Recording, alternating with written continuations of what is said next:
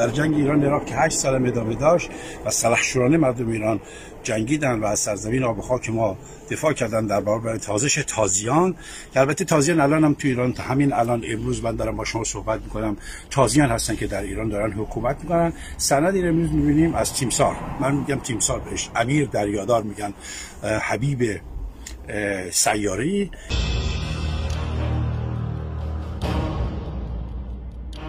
اگر می‌خواید صحبت منو بنویسین من خواهش می‌کنم اینا رو بنویسید. تقصیر شماست. اصلا نیومدن موقعیت ارتش رو حساب بکنن. ما هنوز هم کسی حق نداره با دوربین تو پس فرماندهیمون بره. جوان امروزی باید احساس بکنه که امنیت کشورش برقراره و بدون کی انجام داده. لازم نیست که من هر روز برم بگم آقای جوان امروزی تو بدان که من ببین من سیاری چقدر کار می‌کنم. ارتش مظلوم شده. چرا؟ چون که می‌دونیم همه ما که یک رشادت های زیادی در تاریخ کشور ما انجام شده که به هر حال این مرزبون باقی مونده و تقبیح میشه و ضعیف مردم متوجه فکر می‌کنم این وسط انگار ارتش نبوده. بله بارها میگم بعد یه سری عواملی بودن که هنوز هم زاویه دارن با ارتش مثلا حرفایی بزنن گفتایی بزنن. این ثابت کنن. هنوز هم ما می‌بینیم در یه سپاهمون سال 65 شکل گرفته تازه. تازه یه سازمان می‌خواد شکل بگیره مگه به همین راحتی که شما ظرف 6 ماه یه عالمه انسان و آموزش دیده و تخصص و ناو و فلان بیاره مگه اینطوریه؟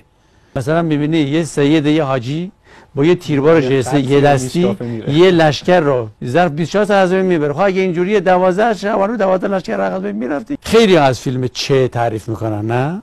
اما من با آقای کی بود کارگردانش؟ حاتمی کیا. تو دفتر خودم موقعی اینجوری در بودم جلسه گذاشتم. و گفتم آقای حاتمی کیا اون شهید فلاحی که تو نشون دادی شهید فلاحی ما نبود. گفت چرا؟ گفتم ببین شهید فلاحی فرمانده من بوده.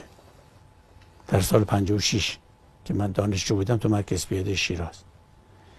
یک ابرمردی بود برای خودش. شهید فلاحی توی سوسنگرد رفته بودن شناسایی برای آزاسه سوسنگرد. گلوله خمپارو توپ می آمد. همه میگن که وقتی گلوله آمد شما بایستی پناه بگیری. میگن شهید فلاحی خم نمی‌شد. راست راست راه میرم می‌گفتن آقا خم شو. می‌گفت من تو کشور خودم خم نمیشم. دشمن باید خم بشه. این یعنی چی؟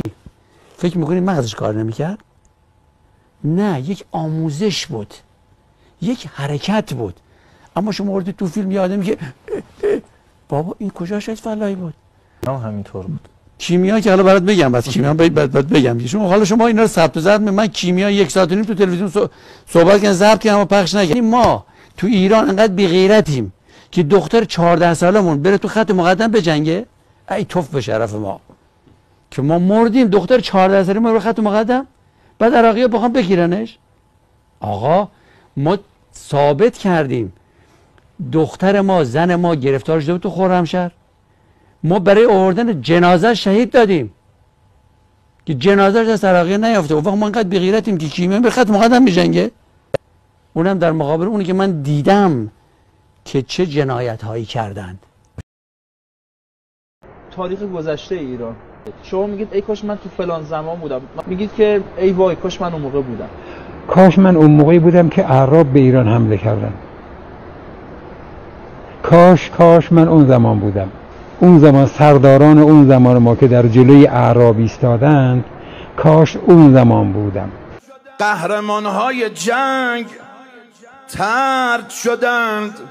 سرخی روی ملت از سیلیست کف بازار جنگ تحمیلی قهرمان های جنگ ترد شدند. کف بازار جنگ تحمیلی مسلمانان مسلمانان به پا خدایان دین را فرو خدایان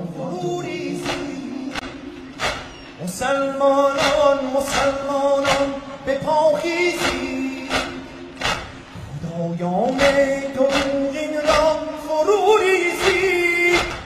خدایان دروغین را فرو خدایان دروغین